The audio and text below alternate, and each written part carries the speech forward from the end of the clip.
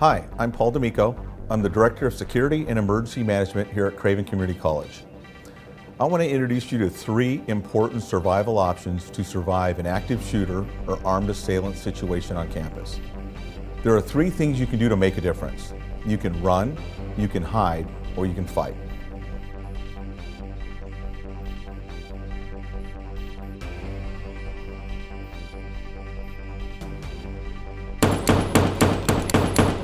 If you run, you should run away from the sound of gunfire, if you can do so safely, and there is an escape path. Leave your belongings behind. Exit the building with your hands up.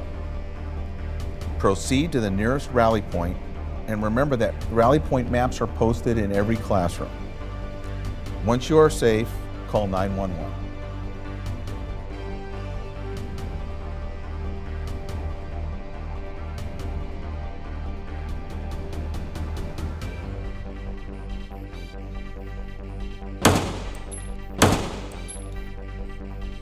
If you choose to hide, hide if you are trapped in a building and a hostile situation is occurring. Hide in a manner that you cannot be found. Secure your hiding place. Silence the ringer on your cell and remain quiet. Stay calm. Do not leave your hiding place until the all clear is announced by the emergency notification system or law enforcement orders you to evacuate the building.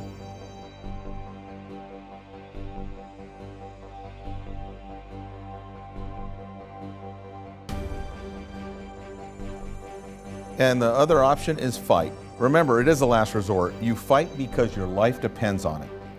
Attempt to incapacitate the shooter by any means necessary. Improvise weapons by using a chair, a laptop computer, an umbrella, or books in the classroom, whatever is available. Act with physical aggression. Commit to your actions. Do not stop until the shooter is down and weaponless.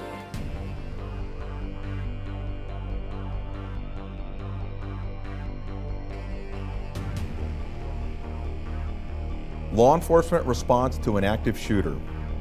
Remember that initial responding officers will attempt to stop the threat and will not stop to treat injured.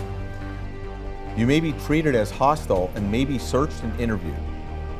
You may be required to leave personal belongings behind, such as backpacks and purses, so that they can be searched for explosives. Keep your hands up and obey all commands. You may be escorted and evacuated and taken to a staging area for medical triage and or counseling. This is your life. It is your option to run, hide, or fight. For more information about Craven Community College's emergency procedures, please contact the Campus Security Department anytime, day or night.